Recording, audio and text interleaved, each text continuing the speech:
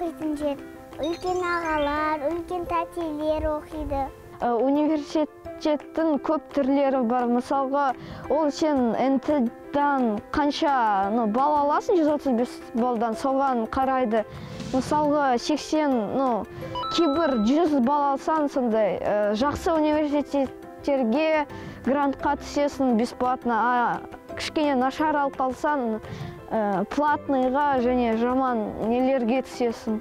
Университет ол сабақ оқу жер ол жерде дәу тәтелер оқиды дәу ағалар оқиды олар жұмысқа қатысуын оқиды. Ол қыздарға белгілі бір мамандық таңдауға көмектесетін курс.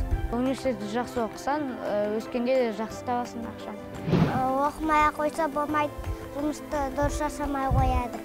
Грамота сияқты стипендия ма? Сондай ала алмай қалса жұмысқа кіре алмайды сосын басқасын оқуға да болады. Жаман жұмыс істейсің анандай бомж сияқты попрошайка боласың. Оқымай қойса ақша таппайды балаларына ештеңе киім сондай алып бере алмайды.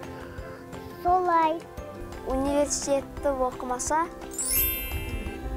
кәдімгі өмір болады. Көп ақша табу үшін жұмыс істеу керек.